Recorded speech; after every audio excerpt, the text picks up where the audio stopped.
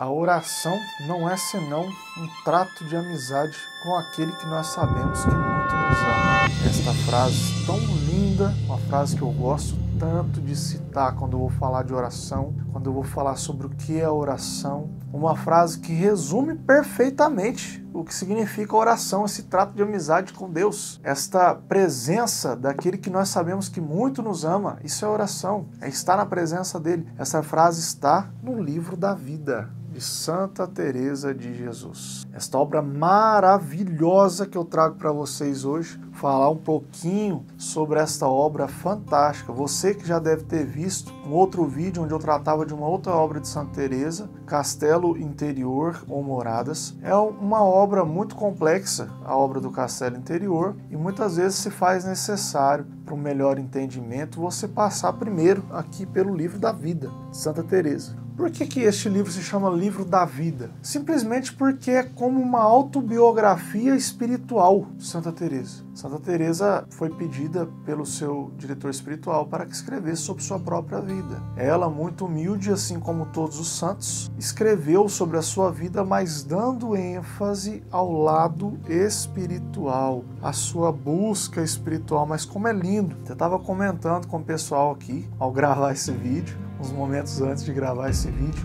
que me traz muita lembrança boa, simplesmente ao folhar esse livro. Eu já li esse livro duas ou três vezes, mas já faz um tempo que não leio. Mas é muito gostoso de ler esse livro porque eu digo que é como você sentar-se diante de Santa Teresa e escutá-la contando as histórias. Imagina aí uma freira já idosa, toda meiga, santinha, e você sentado junto com ela escutando: "Ah, meu filho, quando eu entrei no convento era assim. Quando eu era mocinha, quando eu era jovem, acontecia assim.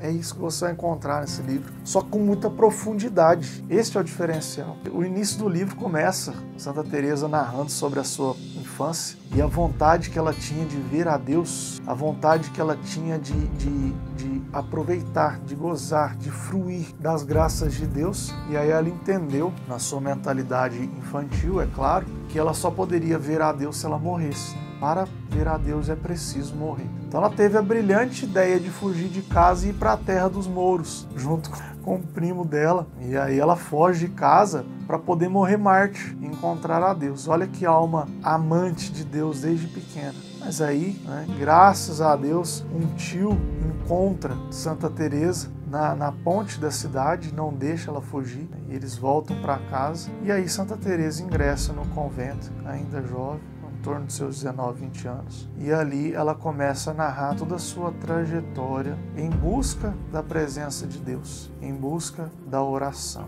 No meio deste livro, quando ela vai contando a vida dela, lá em torno do capítulo 11, ela abre como que um parágrafo, um parêntese, perdão, um parêntese bem grande, para tratar especificamente de oração. E ela compara a vida de oração, a busca pela contemplação, como que o tirar água de um poço, o irrigar uma terra com a água. A oração ela faz isso, ela irriga a alma, ela irriga o coração, ela irriga o nosso interior. E aí ela vai explicando usando essa imagem como que nós nos aprofundamos na vida de oração. E aqui ela passa por todos os grandes momentos da vida dela, né? os momentos, o momento da sua grande conversão, né? porque ela, ela explica que ela passou anos e anos no convento rezando da boca para fora, sem de fato estar né, na presença, naquela interioridade diante de Deus na oração. Ela passa muito tempo longe disso, fazendo as coisas meio que no automático e aí um dia ela se depara com uma imagem de Jesus, naquele momento em que Jesus está atado à coluna e foi chicoteado pelos soldados. Então ela vê aquela imagem de Jesus todo chagado, né? uma imagem que se chama Ecce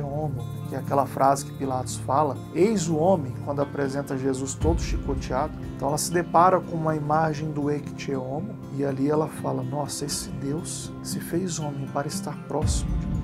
E ali ela tem como que uma conversão. Esse é o momento da conversão de Santa Teresa, onde ela passa a viver uma oração profunda. Ela passa a viver de fato uma vida de intimidade com Deus. E ali acontece grandes coisas na vida dessa santa, doutora da igreja, doutora de oração, doutora do Carmelo. E ela vai narrando ponto por ponto da vida dela, nos levando junto, nos elevando junto com a sua própria história de amor com Deus. É interessante notar que uma outra grande santa do Carmelo, Santa Teresa Benedita da Cruz, conhecida pelo seu nome de batismo também, Santa Edith Stein, uma grande filósofa, uma grande intelectual, que de origem judaica, mas ateia, certa noite se hospeda na casa de uns católicos e eles colocam-na para dormir na biblioteca. Ela, como uma grande intelectual, gostou muito da ideia de dormir numa biblioteca, dormir no meio dos livros, e ali ela olha para a estante e vê um certo livro chamado Livro da Vida. Santa Teresa de Jesus. Quem é essa? Edith Stein, na sua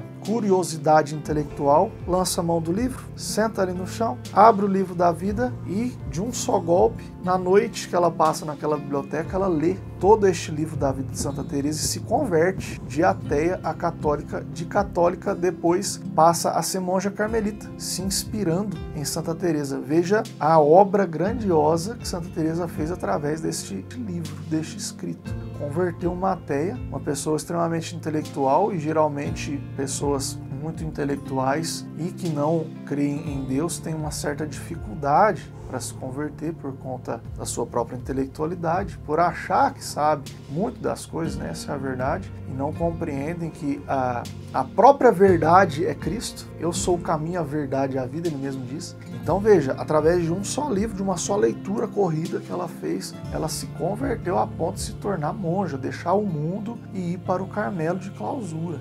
Então você que quer se aprofundar na sua fé, você que quer buscar alimentos sólidos para alimentar a sua oração, entra agora no nosso site Loja Mensageiros e adquira o livro da vida de Santa Teresa de Jesus. Espero que esse vídeo tenha te ajudado. Um grande abraço, Deus abençoe e até a próxima.